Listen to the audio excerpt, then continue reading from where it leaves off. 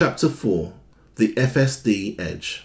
At the heart of the Cybercab lies Tesla's full self driving system, a technological marvel that's nothing short of revolutionary. While competitors like Waymo and Cruise pile on expensive LiDAR systems, Tesla has taken a bold, contrarian bet on cameras. This isn't just a quirky design choice, it's a strategic masterstroke that's cheaper, scalable, and seamlessly integrated into every Cybercab from the moment it rolls off the assembly line. But why ditch LiDAR for cameras?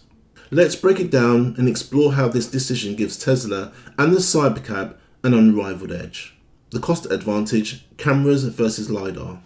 Tesla's camera based approach starts with a jaw dropping economic win. A single LiDAR unit, which uses lasers to map the environment in 3D, costs around $10,000. Many autonomous vehicles require multiple units for full coverage.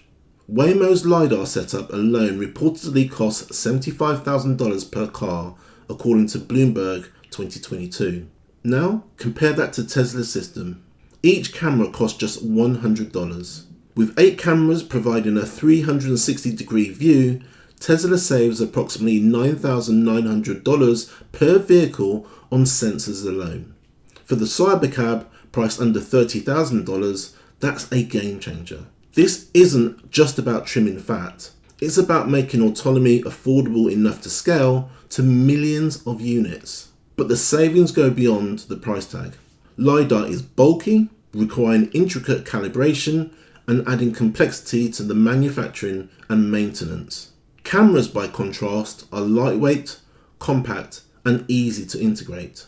This simplicity streamlines production, cutting both time and labour costs. For a vehicle like the Cybercab, designed for mass production with a target of 2 million units annually, this lean approach is the cornerstone of Tesla's strategy.